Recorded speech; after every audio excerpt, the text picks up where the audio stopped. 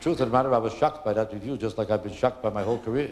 When you come like I do from a family of rabbis, you know, I have three brothers who are rabbis, as I said on television a couple of days ago. And my father was a rabbi all of his life, and all of his life he always dreamed that all his children would be rabbis. That's all he lived for. So uh, naturally, when uh, it was time for me to become a rabbi, I didn't have the heart to tell my father that I'm not going to because that's all he lived for, and I didn't want to hurt him. It would, probably would have destroyed him if I, he suddenly found that one son was not a rabbi. So to force myself to become a rabbi wasn't easy because I didn't have the kind of conviction that a rabbi should have. So I started to perform as a rabbi, and I was very uncomfortable at it, so I started to tell some jokes in my sermons here and there. And as the jokes got better and better, I started to charge a cover and a minimum.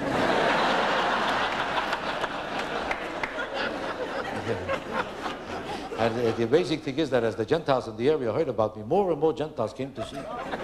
So many Gentiles came that before you know it, there was no room for the Jews. The Jews, the Jews couldn't get in the building. They couldn't get in there.